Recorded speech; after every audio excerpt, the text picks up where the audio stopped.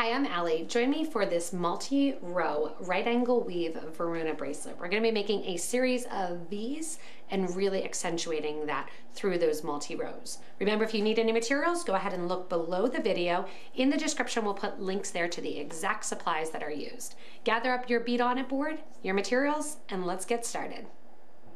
So the first thing we're going to do is create our series of our V's. And we're gonna be using right angle weave for the middle section. Very simple. If you watch the heart patterned beaded bracelet, you'll notice the same exact pattern because it's just right angle weave. We have a stop bead at the end of our thread and I'm using a size 10 beading needle. And the first thing I'm going to do is create my beginning block of my right angle weave. That is going to consist of one, two pearls, followed by one of my bicones, followed by another one of my pearls. Having those four beads on your thread and needle, go ahead and let that drop down to the very end to that stop bead. I'm not leaving a ton of thread down here because we're going to be adding the clasp as we go. So we don't need to go back and put a clasp on the end with just that little tiny bit of thread. From here, to complete the right angle weave first unit, I want you to sew back through, starting at that stop bead, beads one, two, and three. You're gonna be exiting through the alternate or that different bead that you've used. This is now my first right angle weave box. I've got my bead to the left, bead to the bottom, bead to the right, bead to the top. When I do my next unit here, I need a bead for the bottom, a bead for the right, a bead for the top. I'm gonna sew into the bead my thread is already coming out of from the opposite side. So I've added those three beads and I'm sewing into the top because my thread was coming out the bottom of that right hand side of that box. That's going to form my next right angle unit. And I still need to get to that outer right side. So I'm going to sew through the bottom bead and out through the right hand side of that box. And there you have your next right angle unit. Once again, my pattern, grab one bead, the same color I'm coming out of, my alternate color, and then the same color that I'm sewing into.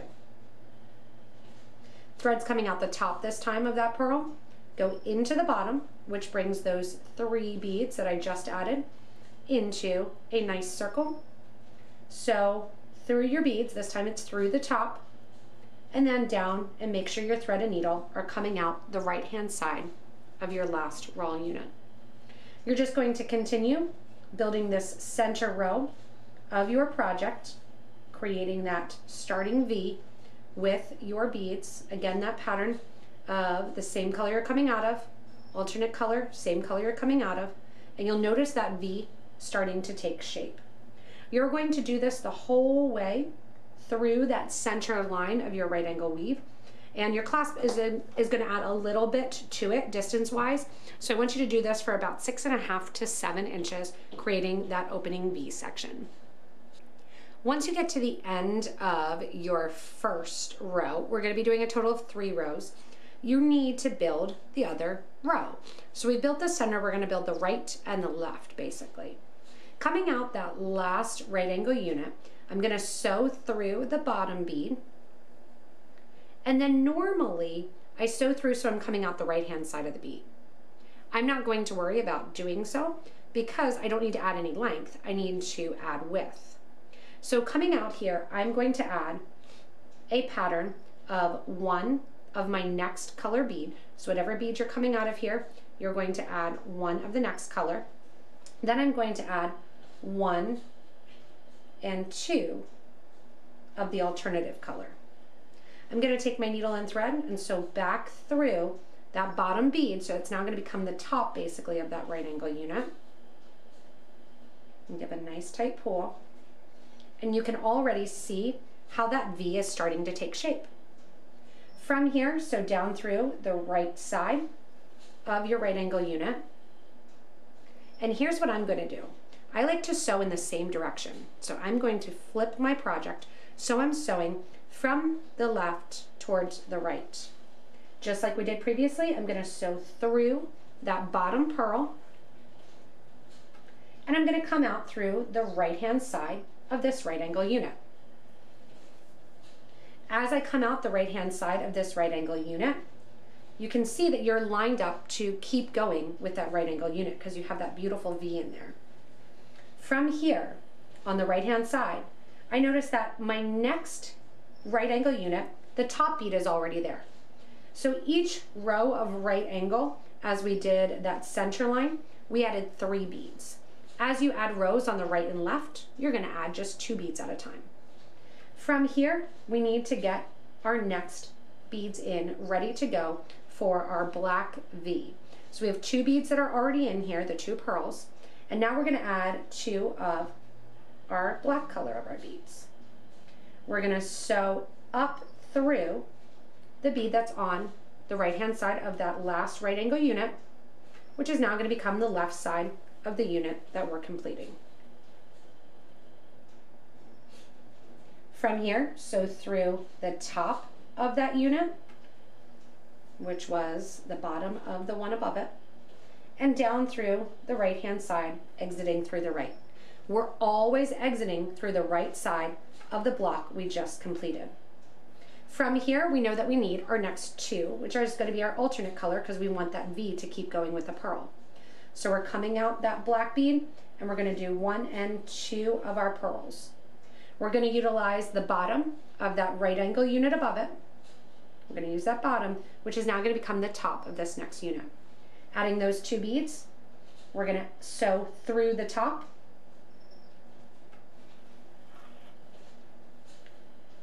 And once we sew through that top, just like we've been doing, sew through the bead on the left and down. And your series, uh, your thread is always a series of figure eights. Sewing through the bottom and once again coming out through the top. Coming out that right hand bead of my right angle unit, you can kind of stick it and sit it down and you know what the next beads are that you need to add. I need two of my black beads to keep going in that V. Now, I already have the top there, but I haven't sewn through it yet. So take your needle and thread, sew through the top, that's bead number one, and you're gonna add your two beads, and then go back through the left-hand side of the raw unit that you're working on. From here, sew through the top of the right angle unit, and once again, exit through the right-hand side of the unit that you've just completed. So see how we're starting to get that nice V shape. And as we do the other side then, it'll be exaggerated by the presence of two more beads on each row. So go ahead and continue down the whole length of your bracelet, adding in two more beads of the opposite color every time you're working on your units. Once you get to the end of the bottom row here, you need to get your thread and needle to the opposite side to continue in that V pattern. So you're coming out the top here. Normally we would go into that right hand side bead of that raw unit and continue on.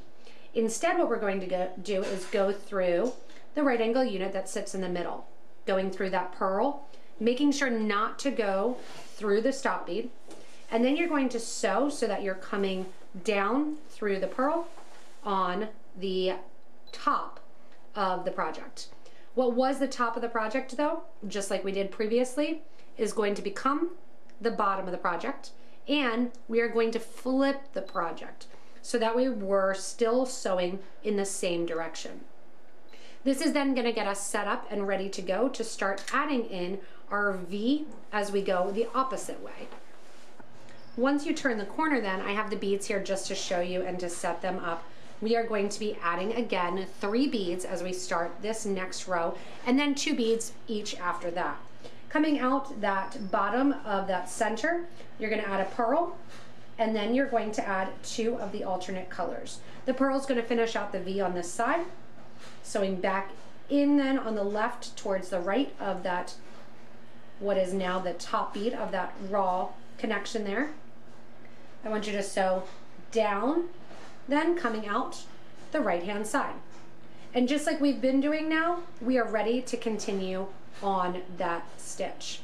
Previously, we were doing two of the same color. As we turn here, you are going to be doing one of the color you're coming out of and one of the color that you're going into.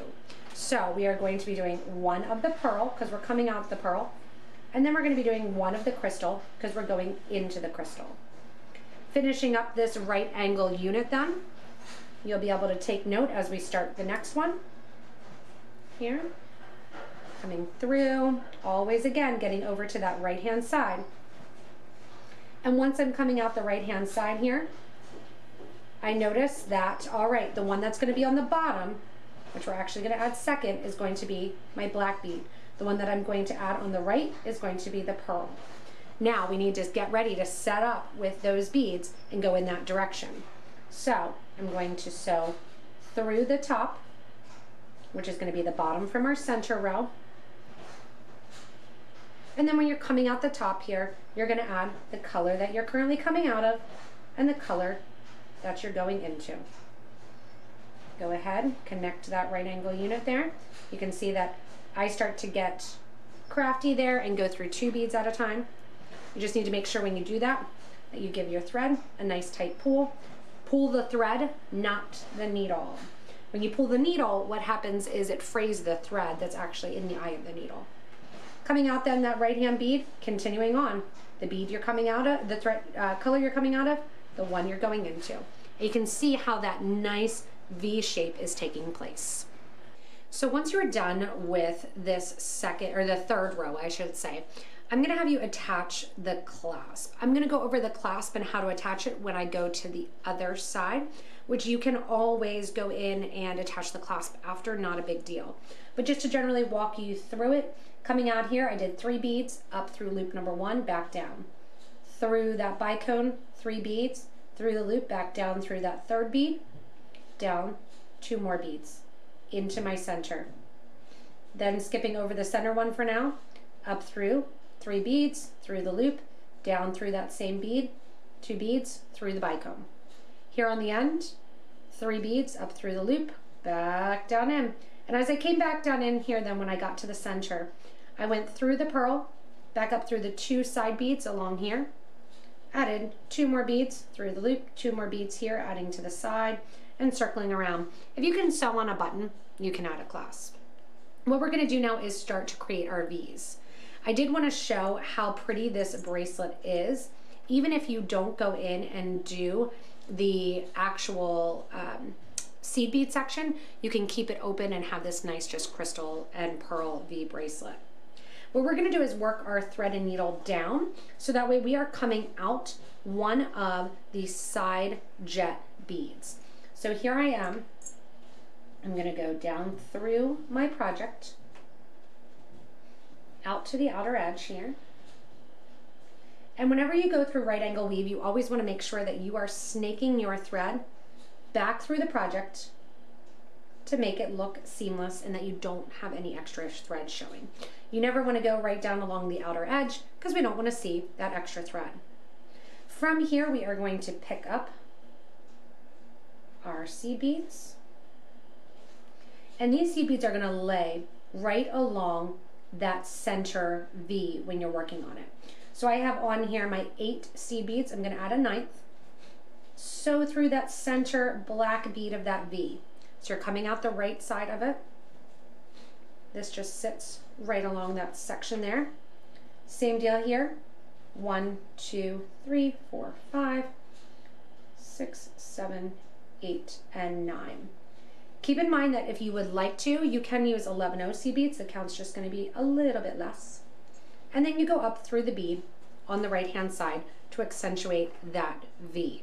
That's going to get us that first V in there and we're going to circle around our thread in order to continue getting our V's in the design as we continue to go.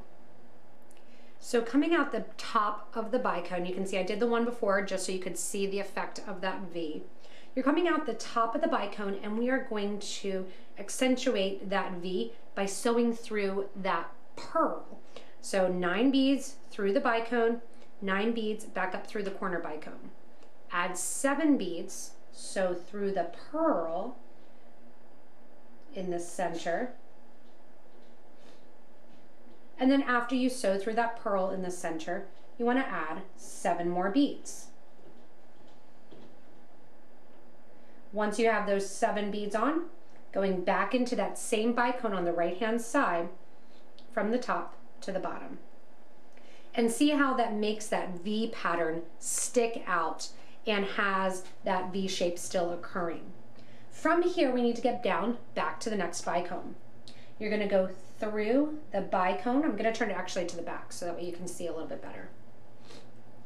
We're gonna go through the bicone, that's next to it, right there. We're gonna sew down through the next bicone, through our pearl. So I'm just doing basically a big S, coming there, here, down, over. I'm gonna flip it over so you can see where my thread is. And then guess what? I'm ready through my next bicone. So I'm gonna do that one more time. And then when I'm coming over here, I'll show you one more thread path of how you're getting down to your next starting position. All right, so that next thread path again, I'm coming down through the bicone after coming out, down, around, circling through the pearl and back around. I'm going now showing from the top through the four millimeter bicone that sits right after, down through the four millimeter bicone that sits underneath, over through that pearl, and now down through the bicone and ready to go. If you need to add more thread, like you can see I'm going to need to do, because I often start off with less than that five feet, I would always rather add thread than pull tons of thread through my project, which weakens the thread as you're doing it. And also it just takes longer to work with. As I'm doing that circling of my thread through the different beads, that's when I'm gonna tie off the thread rather than doing it as I'm adding seed beads. Once you get to the end of this lovely lined bracelet here, we are going to be adding the other side of our clasp. So remember how I kind of talked you through how we did this side? I'm going to show you this side because it's a little bit more difficult, not gonna lie. This Potomac oval clasp is amazing, but in order that you don't see a ton of extra loops, these are turned to the side. So how are we gonna add them?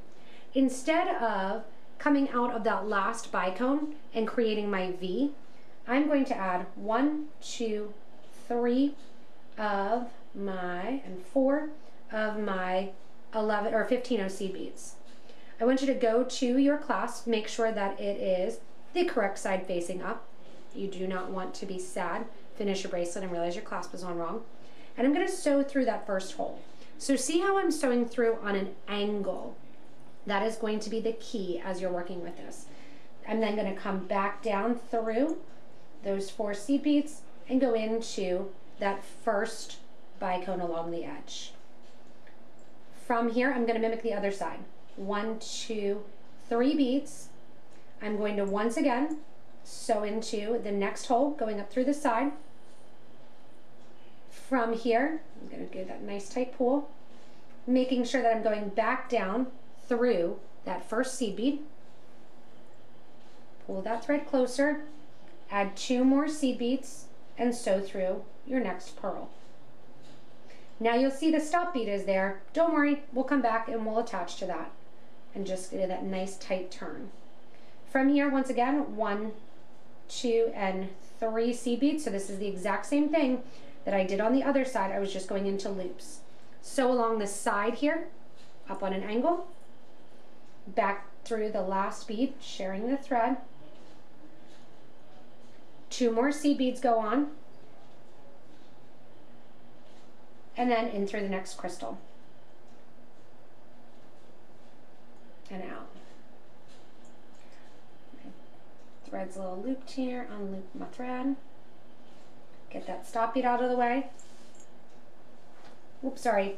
I should have skipped that one here. So I'm going to sew back out I should be skipping the middle for now and going into the fourth. So, tricky, tricky, when you sew out through thread, sometimes it does not sew out, so just gotta be careful here. go back up through. Making sure I'm going through that clasp. I'm gonna come out through the clasp and catch on to number four. Once I come out through this, the crystal along the side, I'm gonna catch on to the fifth loop here adding three seed beads as I sew along. We'll come back then and reinforce and we'll connect to the middle.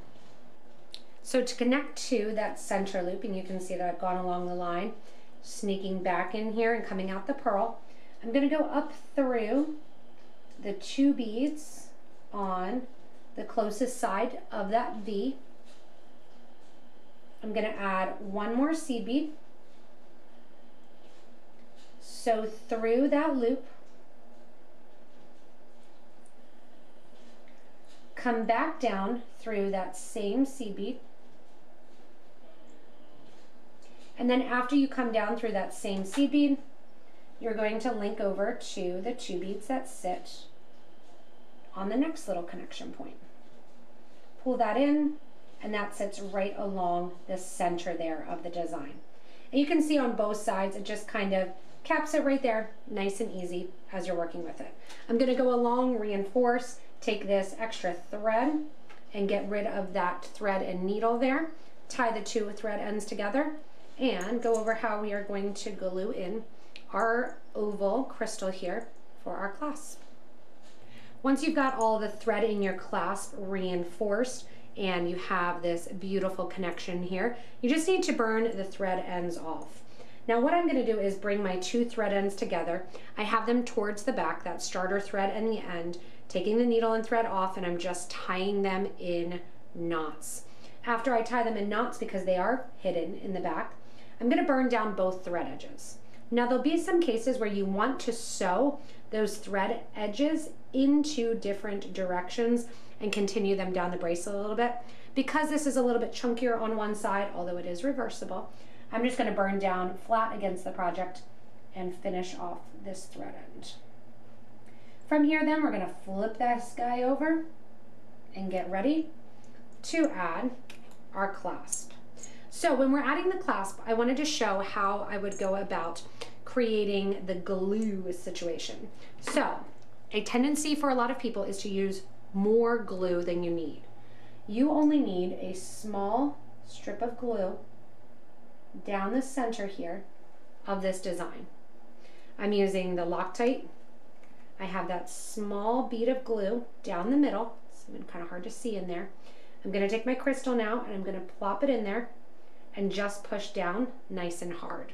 Now every once in a while you'll have one of these crystals where you kind of have to mush and move it a little bit to fit in just because of the natural cut tendency. But right now I'm gonna push it in there, hold it in, one, two, three, four, five, and then sit it down and let it dry a little bit. But doesn't that give a beautiful finish to this awesome Varuna V uh, raw bracelet? Thanks so much for joining me in this multi-row Varuna V bracelet. I hope you realize that you can do different patterns, creating a different version of the bracelet, which you can actually post a photo of in our Facebook group for beading and jewelry making. I love to see what you guys are cooking and what you guys have done for this Varuna bracelet. As always, don't forget to subscribe so you don't miss anything from us here at Potomac Beads. Thanks so much and stay tuned for more inspirational videos.